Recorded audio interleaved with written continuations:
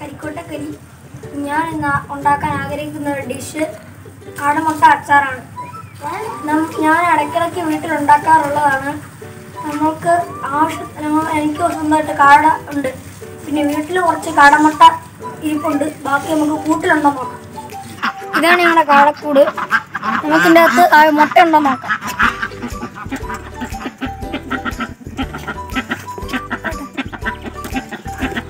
ആവശ്യത്തിനുള്ള ഓട്ട ഉണ്ടെന്ന് തോന്നുന്നു.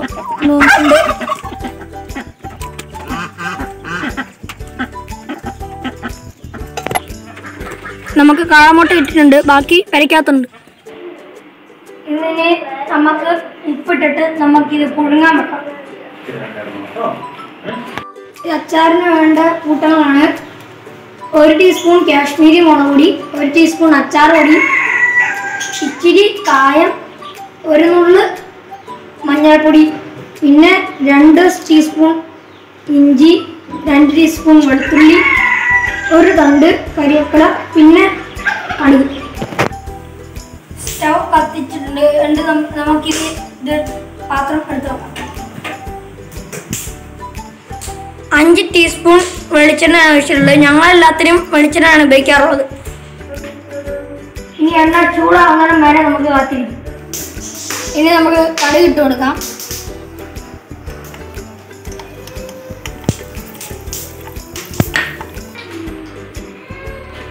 കടുക് പൊട്ടിക്കഴിഞ്ഞു. ഇനി നമുക്ക് കരിവേപ്പില ഇട്ട് കൊടുക്കാം.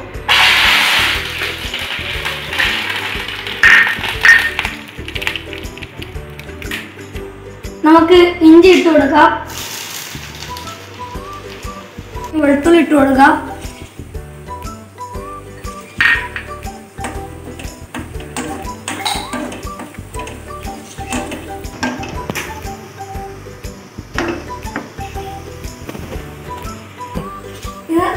അത്യാവശ്യം മൂത്തു. ഇനി നമുക്ക് പൊടികളെല്ലാം ഇട്ട് കൊടുക്കാം. ആയി നമ്മൾ അച്ചാർ പൊടി. ഇത് കഴിഞ്ഞിട്ട് കാശ്മീരി മുളക് പൊടി ഇട്ട് കൊടുക്കാം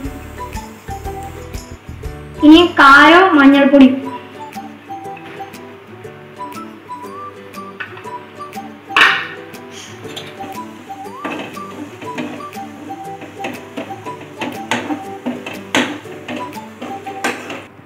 ആവശ്യത്തിനുള്ള ഉപ്പ് നമുക്ക് ഒഴിച്ചു കൊടുക്കാം.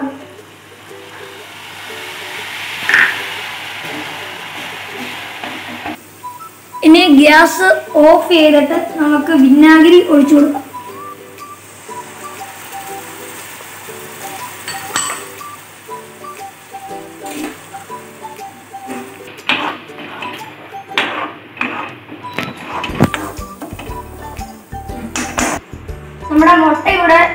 വെന്ത് കിട്ടിയിട്ടുണ്ട്. ഇനി ഇത് തണുക്കുന്നതിന് വരെ നമുക്ക് വെയിറ്റ് ചെയ്യാം.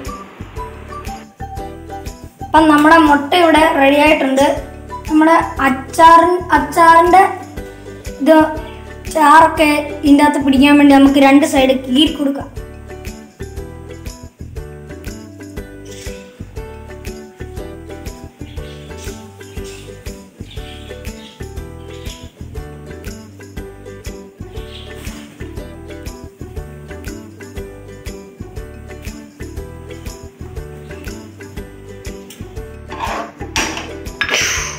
നമ്മൾ ഇതിന്റെ അകത്തേക്ക് ഇട്ട് കൊടുത്തിട്ടുണ്ട്.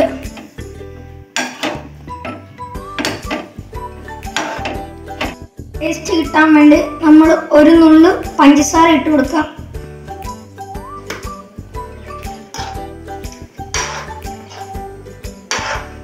കാടമുട്ട ടേസ്റ്റ് നോക്കുവാണ്.